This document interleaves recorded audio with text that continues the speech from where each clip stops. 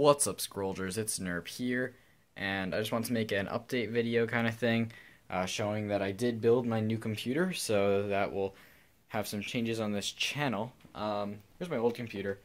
Uh, that's what I used to make all my videos on until it broke a couple of months ago, um, and rather than repairing it, I instead built an entirely new one. Uh, so here, here's just some of the uh, boxes from this. Uh, there's the power supply, the Asus Z97A motherboard. Um, here's my graphics card, GTX 980.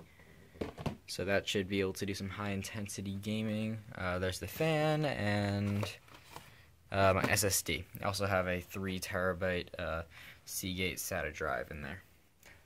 So here is the new system, which will allow me to go back to daily videos this summer, and you should trust me, I'm going to do that because I uh, promised to do that last summer, and I did that. I'll try to have a video every single day of the summer, um, high quality, and not like this last month of videos with only 720p and like terrible audio. The buzzing, the sounds are just so bad. Uh, so just like a fractal design case. I really like this. It's really silent. Um, it's like padded in here. Hopefully it doesn't get too hot, but it runs uh, almost silent.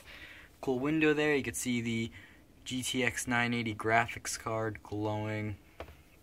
And uh, yeah, so that's a microphone if you wanted to know.